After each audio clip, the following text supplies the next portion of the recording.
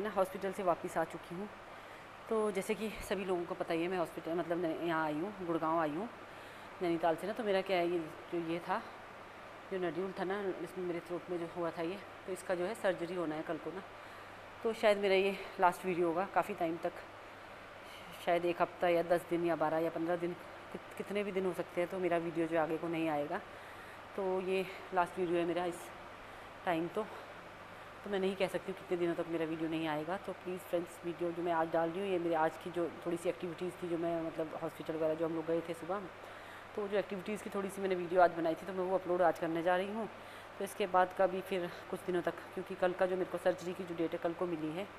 कल मैं सुबह शायद एडमिट हो जाऊँगी ना तो कल सुबह एडमिट हो जाऊँगी तो फिर दिन भर जब सर्जरी होगी तो कुछ टाइम तक तो शायद बात बात करना भी पॉसिबल नहीं रहेगा, क्योंकि थ्रोट का मामला है नेक का मामला है तो शायद इसमें बात बात करना भी अभी नहीं हो हो पाएगा तो नहीं कर पाऊँगी मैं ब्लॉगिंग अब मैं शायद इसके बाद या तो नैनीताल आने के बाद ही ब्लॉगिंग करूँगी, या फिर शायद मैं यहाँ से जब नैनीताल के लिए निकल दूँगी मतलब मैक्सिमम टेन डेज़ नाइन या टेन डेज़ मुझे यहाँ पे लगने वाले जैसे कल सर्जरी होगी तो उसके बाद नाइन डेज़ में तो फिर शायद टाँके वाँके खुलेंगे, जो भी तो मैं सब कुछ यहाँ से करवा के, टाँके वाँके खुलवा के, उसके बाद ही फिर मैं आऊँगी। तो उसमें मुझे वक्त लग जाएगा आठ नौ दिन तो आठ नौ दिन के बाद ही मेरा जो नेक्स्ट वीडियो होगा, जो नेक्स्ट ब्लॉग होगा, वो आएगा।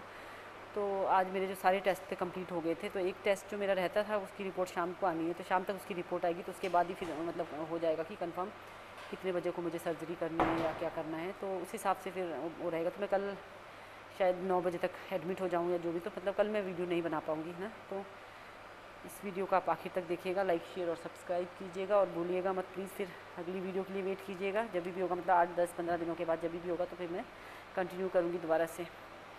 तो उसी तरह से अपना प्यार बनाए रखिएगा। चलिए फिर मिलेंगे नेक्स्ट वीडियो में बहुत जल्दी।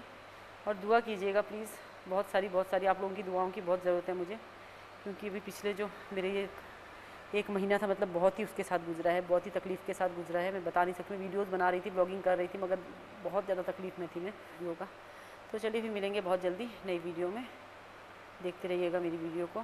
चलिए bye bye thank you thank you so much hello everyone good morning तो हम लोग निकल पड़े हैं हॉस्पिटल की तरफ़।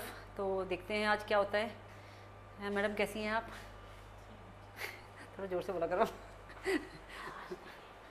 गले का ऑपरेशन मेरा होने वाला आवाज़ आपकी वही भी है।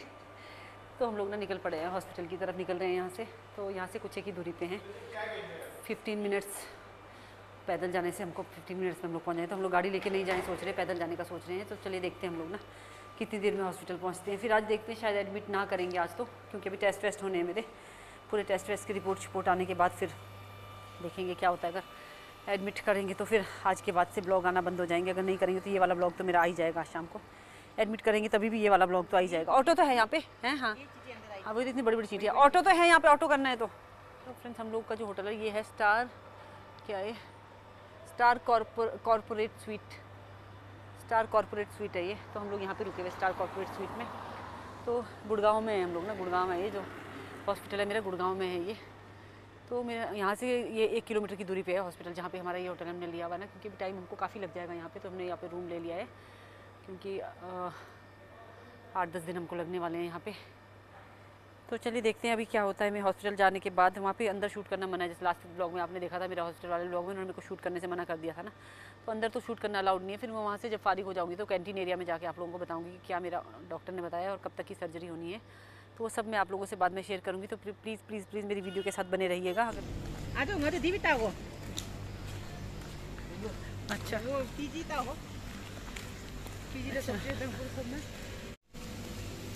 ये लोबदा जा रहे लोबदा बैक बैक मुड़ो तो। हाय बोलो व्यूवर्स को। नीमा जी कैसी हैं आप?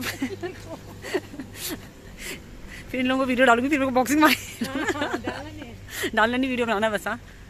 तो बनाना है डालना नहीं है। वही ना। पर्सनल डालूँ।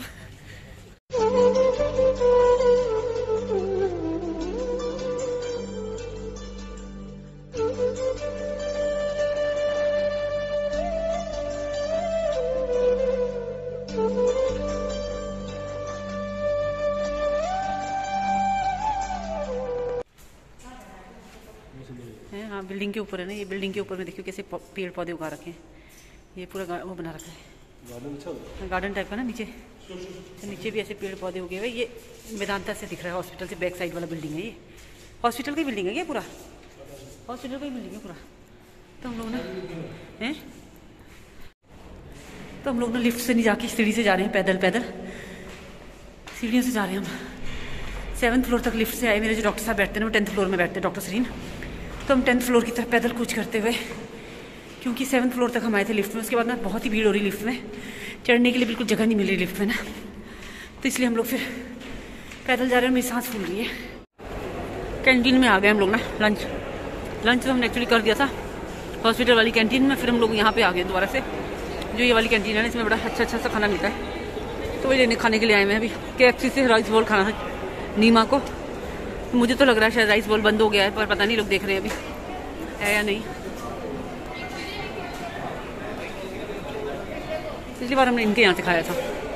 भटूरा खाया था ना छोले भटूरा अच्छा था टेस्टी था। ये है कैंटीन यहाँ पे। पिज़्ज़ा हट भी है। राइस बॉल है ना? दो लीटर हम तीनों खा लेंगे। मैंने वो पॉपकॉर्न डाल के बनाया। दो दे तीनों जने खा लेंगे। तो अभी भीड़ है काफ़ी ज़्यादा लंच टाइम है शायद तो काफ़ी ज़्यादा भीड़ है।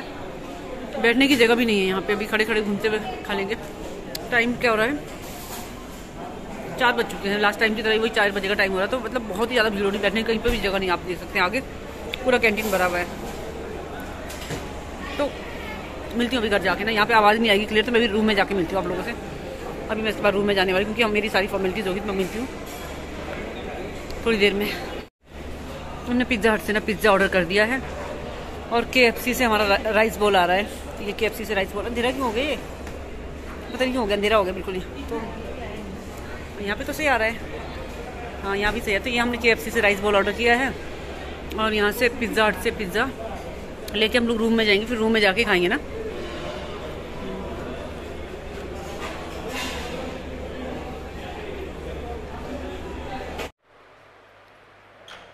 फ्रेंड्स अभी ना हॉस्पिटल से आने के बाद ये लोग देखिए यहाँ पे मगरमच्छ की तरह पड़े हुए हैं रूम में। तो ये लोग हाँ रूम का भी बुरा हाल है क्लीनिंग नहीं करवाई ऐसे हम लोग बैठे हुए हैं तो हमारी अपनी बेडशीट हमने बिछा रखी है इस पर तो इस तरह से जो आज की वीडियो है ना, मैं यहीं पर ख़त्म करती हूँ। तो मिलेंगे बहुत जल्द, दुआ कीजिएगा, मैं मिलूँ सबको बहुत जल्द। नहीं मिली तो बाय बाय मिली तो हाय हाय। ऐसे क्यों नहीं बोलते हैं? ऐसे ही बोलते हैं। चलिए ठीक है, मिलते हैं अगले ब्लॉग में ना। Bye bye